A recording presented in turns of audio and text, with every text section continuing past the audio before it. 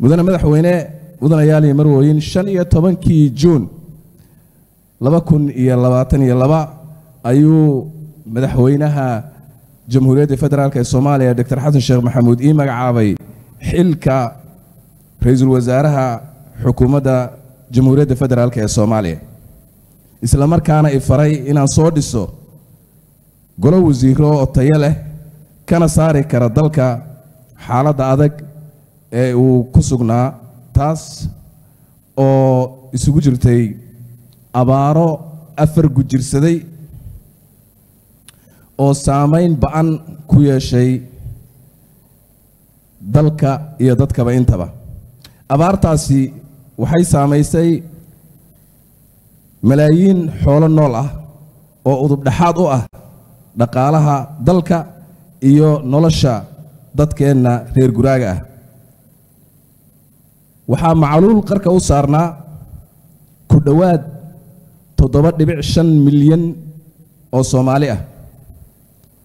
Waxaa jirtay amni darro baahsan oo sababtay in cadowga khawaarijtu si buuxda u kontaroolaan nolosha bulshada gaar ahaan ganacsiga iyo garsoorka. Waxaa daafaha caasimadda ka furnaa maxkamado ku sheeg loo dacwoodo iyo xarumo dadka lagu boogo xoolahoodana si baada looga qaato. Waxaa jirtay rajabeel ku dhacay shacabka soomaaliyeed. Waxay aamineen in aan khawaarijta laga adkaan karin.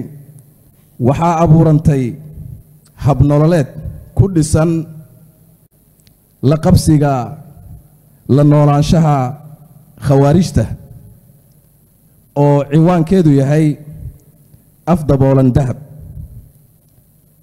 Arrimaha dayn cafiska oo ay hor taallay benchmarks iyo shuruudo ad adag oo ay ka mid yihiin samaynta iyo ansixinta sharciyo tiro badan oo aad u culculus oo ay waajib tahay in bilo gudahood lagu dhammaystiro dalka oo ku jiray wax lagu tilmaami karo go'doon siyaasadeed oo aan xiriir wanaagsan la lahayn in badan oo ka mid a caalamka oo ay ku jiraan qaar ka mid ah dowladaha deriska. Mudane madaxweyne mudanayaal iyo marwooyin. Magacawgayga kadib la tashi dheer oo aan la yeeshay madaxweynaha jamhuuriyadda iyo madaxda kale qaranka qaybaha kala duwan ee bulshada soomaaliyeed kadib waxaan labadii bishii ogost soo dhisay xukuumad ka kooban shan iyo labaatan wasaaradood.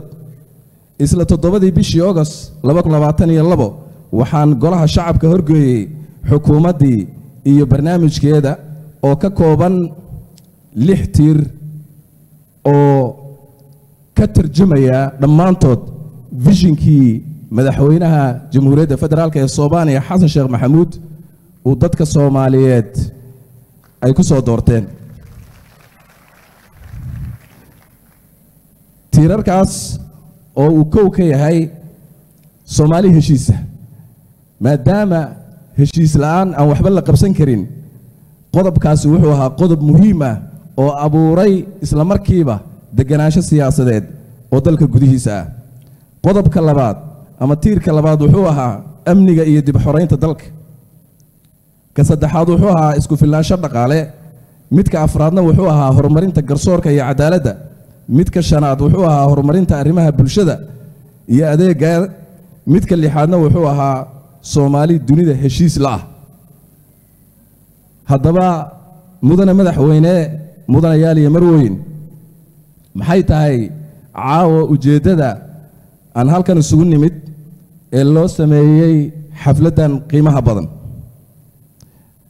Ujeeddada koowaad waxaan rumaysannahay haddaan nahay xukuumadda dan qaran in aan accountable u nahay oo ay tahay inay nala xisaabtamaan annaguna aan ogolnahay dhammaan madaxweynaha jamhuuriyadda labada aqal ee baarlamaanka soomaaliyeed.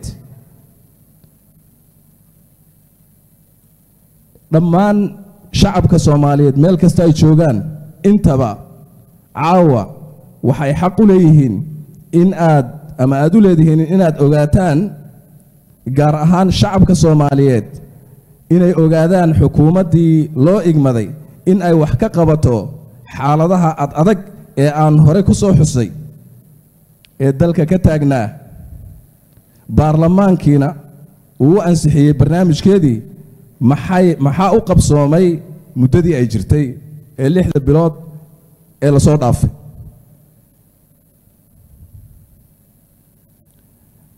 Qodobka labaad waxaa naga go'an in aan la noolaanno bulshadeenna ka jawaabno su'aalahooda sidoo kale aan dhegaysanno taladooda iyo tusaalahooda iyo toosintooda intaba labadaa hadaf ee muhiimka ah ayay daaran tahay caawa xafladdani waxaan halkan uga mahad celinayaa madaxweynaha jamhuuriyadda federaalka soomaaliya oo hoggaan iyo hormuud noogu ah guul kasta oo aan xaqiijinnay.